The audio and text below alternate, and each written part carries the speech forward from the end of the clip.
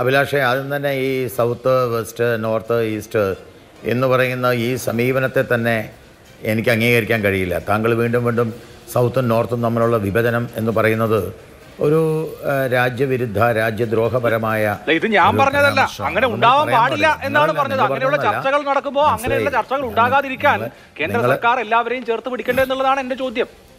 ഞാൻ അങ്ങനെയുള്ള ഒരു നറേറ്റീവിനൊപ്പം നിൽക്കുന്ന ആളല്ല. മനസ്സിലായി. ഞാൻ താങ്കൾ അല്ല താങ്കൾ ആ നെറേറ്റീവിന്റെ ഒപ്പം നിൽക്കുന്നില്ല എന്നുള്ളത് ആഹ്ലാദകരമാണെങ്കിലും താങ്കൾ ഇത് പറഞ്ഞു. അതും ഇതുമായിട്ടൊന്നും യാതൊരു ബന്ധവുമില്ല. അതുമാത്രമല്ലല്ലോ ഇന്ത്യ എന്ന് പറയുന്ന ഒരു ഒരു ഒരു കോണ്ടിനന്റാണ് ഇന്ത്യ എന്ന് പറയുന്ന ഒരു അസ്തിത്വം ഇല്ല ഭാരതം എന്ന് പറയുന്ന ഒരു അസ്തിത്വം ഇല്ല എന്ന് പറഞ്ഞാൽ ഭാരതം ആയിരത്തി തൊള്ളായിരത്തി നാൽപ്പത്തേഴിൽ ഉണ്ടായതാണ്. ആ നാൽപ്പത്തേഴിന് മുമ്പ് ഭാരതം ഉണ്ടായിരുന്നില്ല. ഭാരതം ഒരു രാജ്യമല്ല. എന്നാണല്ലോ തമിഴ്നാട്ടിലെ ആളുകൾ പറഞ്ഞത്. അതിനെ അംഗീകരിക്കുന്നവരാണ് സമ്പത്ത്. അതിനെ അംഗീകരിക്കുന്നവരാണ് ഇപ്പോൾ കോൺഗ്രസ്. അല്ലെങ്കിൽ കോൺഗ്രസ് അതിനെ എതിർക്കേണ്ടതായിരുന്നു. കോൺഗ്രസ് എതിർത്തില്ല. ഏറ്റവും അപകടകരമായ ഒരിക്കലും ചിന്തിക്കാൻ പാടില്ലാത്ത നമ്മുടെ മനസ്സിൽ പോലും നിലപാട് പറഞ്ഞിട്ടുണ്ട്. ശ്രീ ഏയ്, ഗോപാലകൃഷ്ണൻ ഞാൻ തെറ്റിദ്ധരിപ്പിക്കരുത്. തെറ്റിദ്ധരിപ്പിക്കരുത്. ഞാൻ നിങ്ങളുടെ സമയത്ത് നിങ്ങളുടെ സമയത്ത് നിങ്ങൾ പറഞ്ഞോളൂ. നിങ്ങളുടെ സമയത്ത് താങ്കൾ പറഞ്ഞോളൂ. ഞാൻ നിങ്ങൾ പറഞ്ഞ പറഞ്ഞപ്പോൾ നിങ്ങളുടെ സമയത്ത് നിങ്ങളുടെ സമയത്ത് നിങ്ങൾ പറഞ്ഞോളൂ. ഞാൻ എന്റെ സമയത്ത് പറയുമ്പോൾ ഇടപെടല്ലേ? പ്ലീസ് അപ്പോൾ വാസ്തവത്തിൽ അത് ഏത് രീതിയിലുള്ള രാജ്യദ്രോഹപരമായ സമീപനമാണ് എന്നുള്ളത് എല്ലാവർക്കും അറിയാം. അതിൽ മൗനം പാലിക്കുന്ന കക്ഷികളുണ്ട് മൗനം പാലിക്കുന്ന നേതാക്കന്മാരുണ്ട്. ഈ ഏത് പാർട്ടിയുടെയും ഏറ്റവും ടോപ്പിലുള്ള നേതാവ് അതിനെതിരെ ശക്തി ശക്തിയുക്തം രംഗത്ത് വരണം അത് പിൻവലിപ്പിക്കണം അതിന് മാപ്പ് പറയിപ്പിക്കണം അത് അങ്ങനെ പറയുന്ന ആളുകളെ കൂടെ കൊണ്ടു നടക്കാൻ പറ്റില്ല എന്ന് പറയണം. അങ്ങനെയൊന്നും ഏതെങ്കിലും നേതാക്കന്മാർ പറഞ്ഞതായിട്ട് ഞാൻ കണ്ടില്ല. ഇനി നേതാക്കന്മാർ പറഞ്ഞിട്ടുണ്ടോ ഇല്ലയോ എന്നുള്ളത് വക്താവ് പറഞ്ഞാൽ എനിക്ക് വിരോധമില്ല. രാഹുൽ ഗാന്ധി അതിനെപ്പറ്റി ഒരു സ്റ്റേറ്റ്മെന്റ് പറഞ്ഞൊന്നും ഞാൻ കേട്ടില്ല. സോണിയാഗാന്ധി പറഞ്ഞതും ഞാൻ അറിഞ്ഞിട്ടില്ല.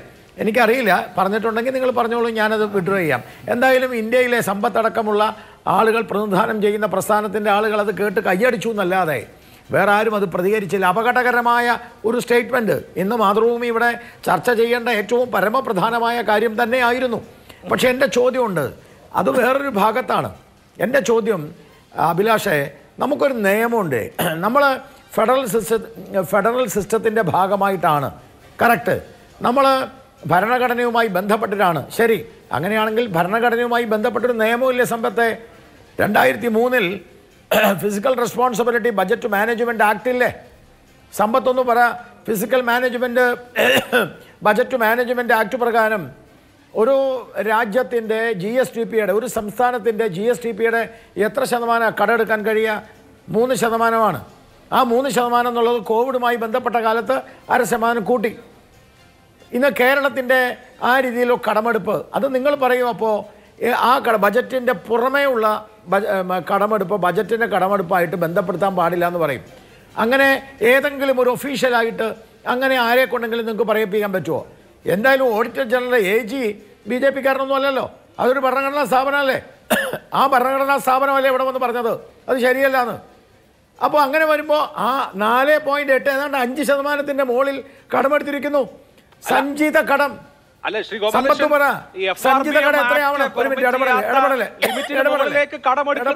ശരിയല്ല. പക്ഷെ ഇന്ന് കപിൽ ഇടപെടൽ. സിബൽ കോടതിയിൽ പറഞ്ഞ ഒരു കാര്യമുണ്ട് കേട്ടോ. ഇടപെടൽ. കേരളം. കടമെടുക്കുന്നതിൽ അങ്ങേക്ക്. വ്യസനം.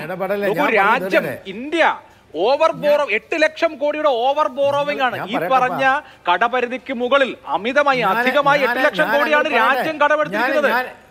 ഇപ്പൊ കേന്ദ്ര വിട്ടാൽ ബർമുടയും നമ്മളിട്ടാ വള്ളി നിൽക്കുന്നു പറയരുത്. ഞാനൊന്ന് പറഞ്ഞു തീർന്ന് ഞാൻ ഞാൻ ഞാനൊന്ന് പറയട്ടെ ഞാനൊന്ന് പറഞ്ഞു തീർക്കട്ടെ. കേന്ദ്രമല്ല ഞാനൊന്ന് പറഞ്ഞു തീർക്കട്ടെ ഇടയിൽ ഇടപെടല്ലേ പ്ലീസ്.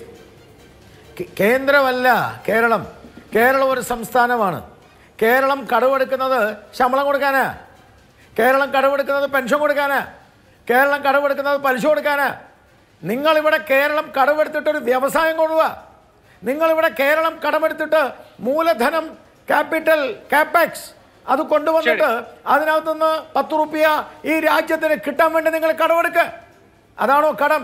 കടം മേടിച്ച് ശമ്പളം കൊടുക്കുക കടം മേടിച്ച് കടം മേടിച്ച്